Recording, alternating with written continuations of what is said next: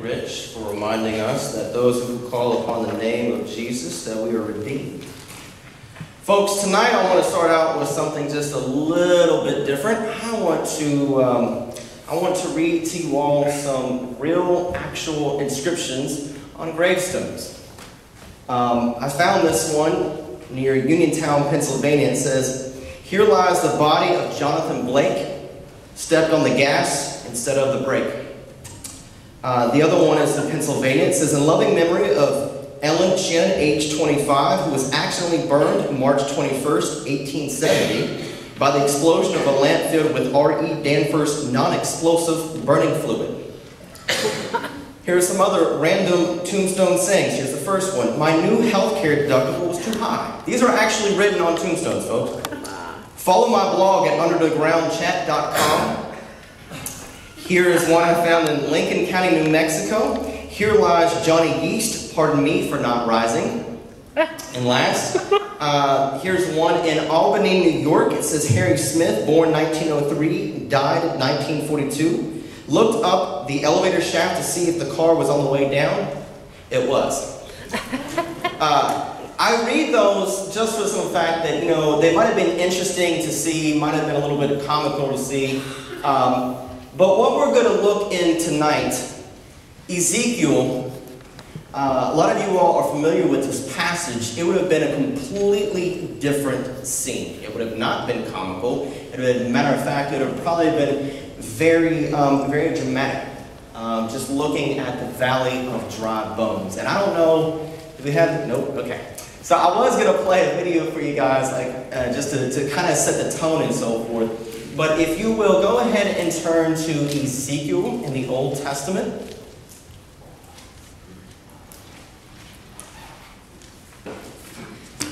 And while you guys are turning there, let me kind of go ahead and set this up for us. Uh, this is a letter that was circulated through the empire of Babylon. And the Jews have been exiled, they have been taken captive into uh, Babylon. And so this is a letter for comfort. The theme of Ezekiel is about the glory of God, the Shekinah glory and the reverence of God. But specifically tonight, we're going to be looking at Ezekiel chapter 37. And 37 deals with the restoration of Israel. Not only does it deal with the restoration of the entity of the nation of Israel, but it also will be looking at the revival, the spiritual revival of Israel itself. Now, this is a vision that God has given to Ezekiel, but he also interprets it to Ezekiel about the seriousness of the situation that is at hand. So, if you will, Ezekiel 37, I'm going to kind of first read for the first 14 verses before we kind of go and break this down. It says, The hand of the Lord came upon me and brought me out in the spirit of the Lord and set me down in the midst of the valley and was full of bones. Then he caused me to pass by them all around, and behold, there were very many in the open valley. And indeed, they were very dry. And he said to me, Son of man, can these bones live? So I answered, O Lord God, you know. Again he said to me, Prophesy to these bones and say to them, O dry bones, hear the word of the Lord. Thus says the Lord God to these bones, Surely I will cause breath to enter into you, and you shall live. I will put sinews on you and bring flesh upon you, cover you with skin and put breath in you, and you shall live. Then you shall know that I am the Lord. So I prophesied.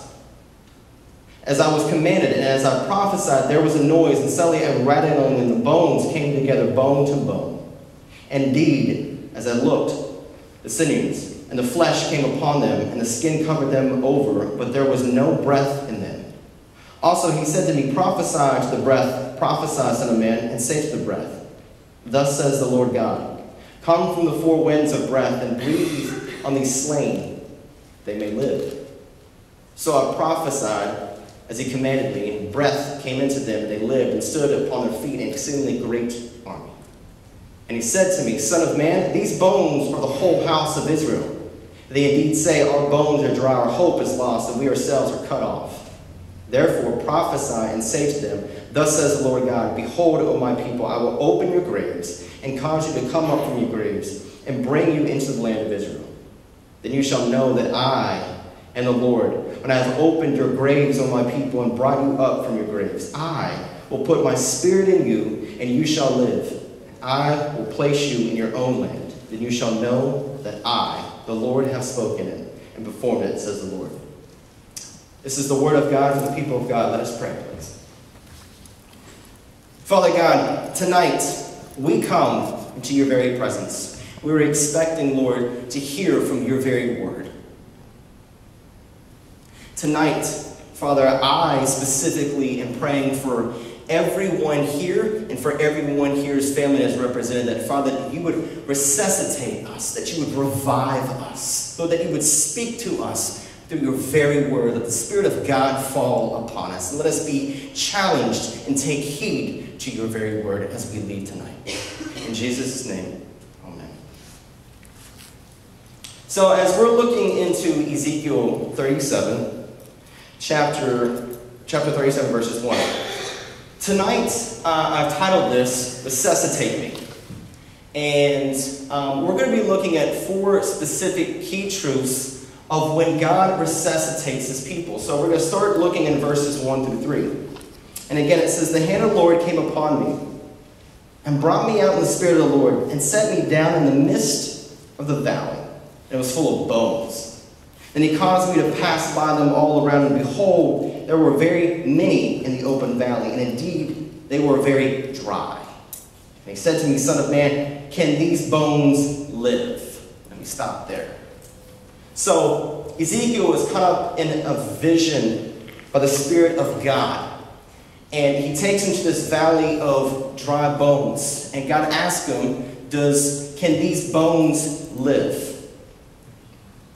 And so if you look at very first verse 1, hand of the Lord, it just means that Ezekiel is commissioned by God's power and strength to communicate God's truth. But when you read the passage about the valley, you got to know a little bit of the context of Hebrew culture. Because Hebrew culture, just like anybody else, they were very respectful when it came to um, bones and to uh, proper burial. So when Ezekiel comes to this, and it's human remains, it's carcasses, it's bones. There's three things that we can tell. Number one, um, in verse 11, since we found out this was an army, that these dry bones were of. If another army slain you, killed you, and left your the other army on the battlefield, it was as a supposed, it was a mockery. Number two, it was a divine judgment by God. And then number three, if bones or human remains were left on the land and they were not properly buried, it was defiled against the land. Because here's the thing, in Hebrew culture, you would wash the body, you would wrap the body, and then it would be given a proper burial. Either it would be in the ground, but most likely in a tomb. And so they had a high regard, a high respect for bones. And so these bones were out there for so long that you could only imagine the vultures and animals would have eaten the flesh. But we know in verses 1 and 2 that it talks about that these, these bones were very dry. They were so dry, when you look at very dry, it means the sun bleached the bones.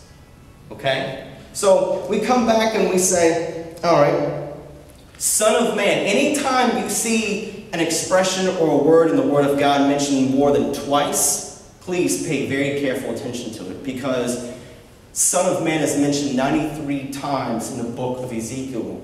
And it's a poetic, it's a Hebrew poetic expression of being human being, but it goes beyond that. It is conveying, it's conveying that God is communicating only through Ezekiel of his power, of his magnitude, of speaking of his truth, of prophesying to these bones. So, what does that mean for us? When we look at these first three verses, what does this mean to us?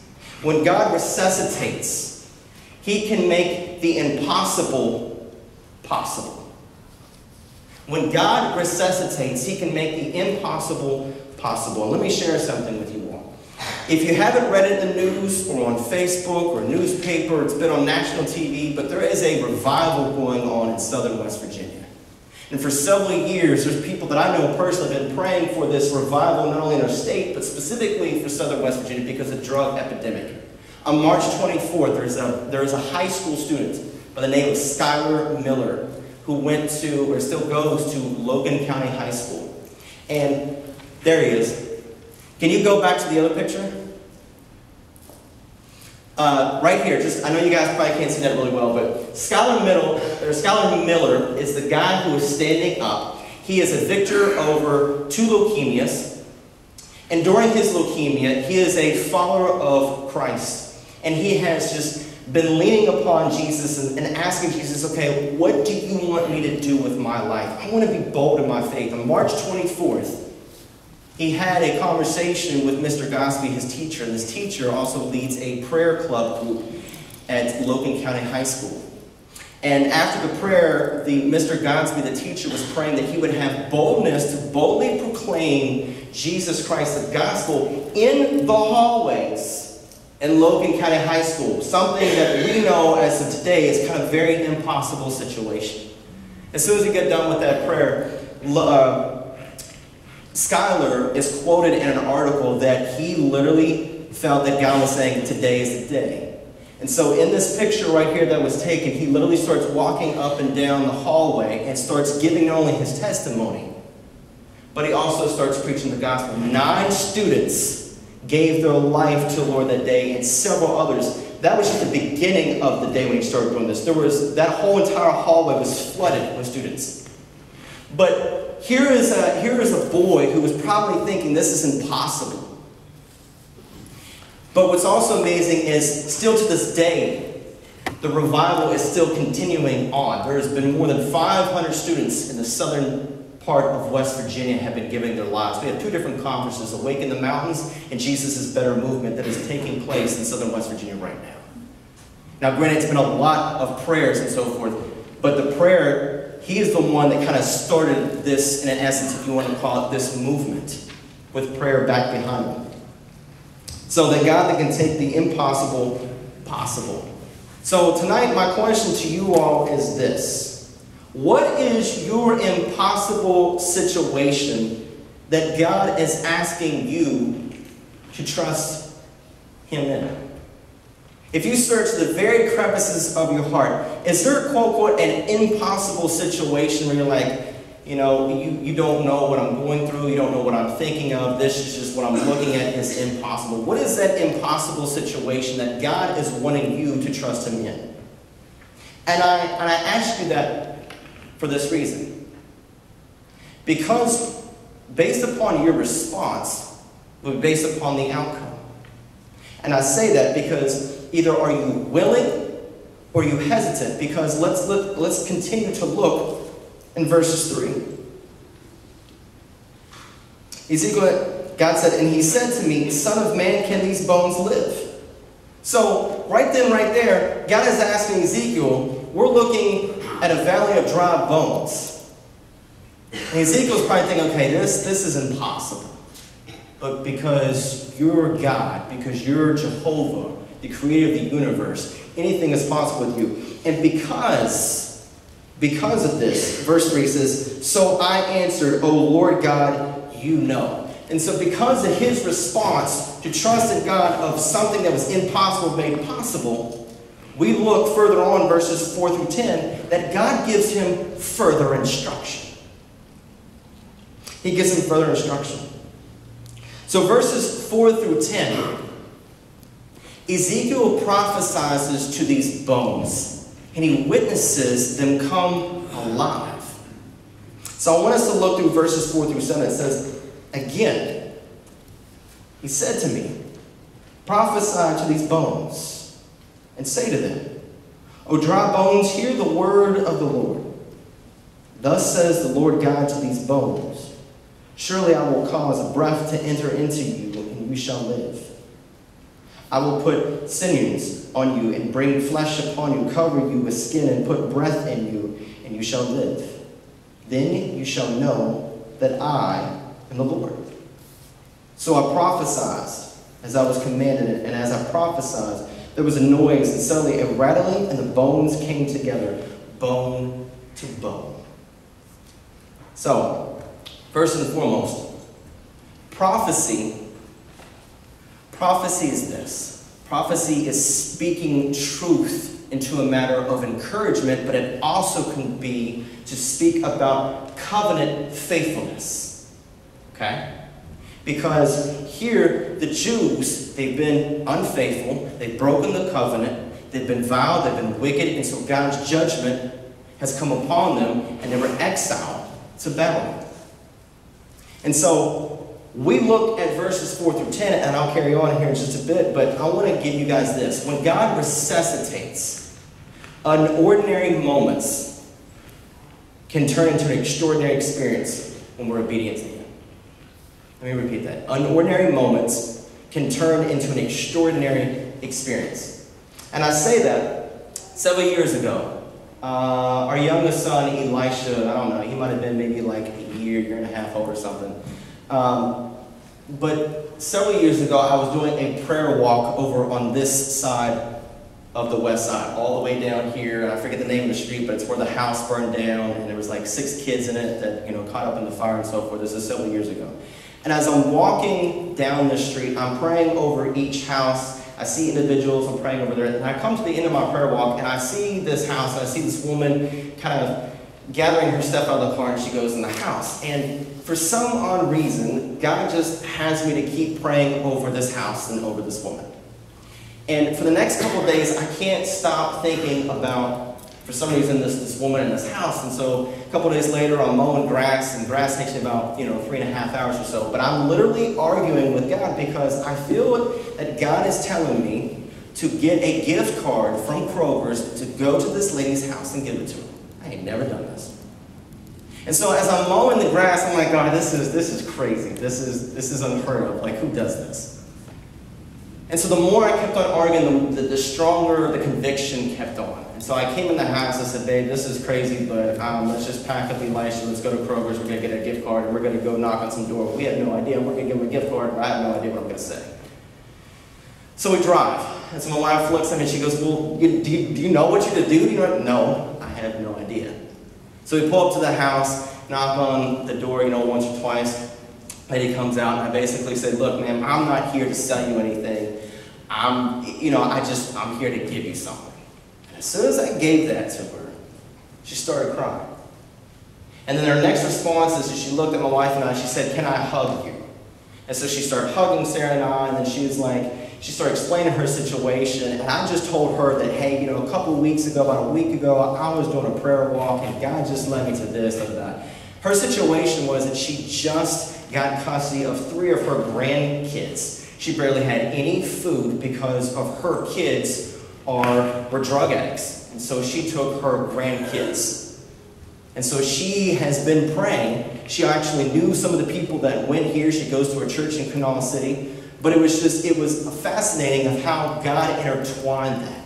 Because it resuscitated my soul, it resuscitated my wife's soul as we're driving the way home. That I come back and I say, okay, Lord, unordinary moments can turn into extraordinary experiences when we're obedient to God. So, looking in, starting in verses 7, all the way through verses 10, we're looking at the stages of restoration. And in verses 7, when you look at this, this is talking about the scattering of the bones of Israel. They were scattered all throughout the world, and they were dead to the things of God and God. And so, you know, as I was preparing this, maybe that might be some of you all tonight. Maybe that might be someone who's watching this or listening to this. Maybe you felt scattered. Scattered in the sense that maybe you felt scattered in your relationship with Christ. Meaning that maybe you've been disobedient and you haven't been listening to the voice of God of what He has asked or called you to do. Maybe there's some of us in the room that we need to be resuscitated just for the simple fact that, first of all, we need to repent of the sins that we have committed before a holy God. And we haven't done that. Maybe for some of us, we just need to come before God and say, okay, Lord, I'm dry. I'm stagnant in my relationship with you. In verses 8, says, Indeed, as I looked, indeed, as I looked, the sinews and flesh came upon them, and the skin covered them, and over, but there was no breath in them. Since 1948, Israel has become a nation. They've got anything and everything, but they've kind of lacked of being on fire for the Lord. And so it's kind of like one body. It's the bones coming together, but there's no life. And as I read this and I was, I was meditating on this passage, I was thinking about us, I was thinking as America, I was thinking as a whole as the body of Christ. Maybe there's a lot of us that do stuff, quote, quote, for God, but we don't have a heart for God. And I say this that maybe, maybe you're maybe you're out in the community and you're with an organization. Maybe you serve in an organization. Maybe you serve here. Maybe you serve somewhere else. Maybe you come here all the times that this church is open, all the times that these doors are open. And you serve and you do your checklist, and I did Sunday, I did Wednesday, I serve, whatever else. But for a lot of us, it's stuff. Are we doing it for the motive? Are we doing it for the right reason? Do we have a heart for God? Because a lot of times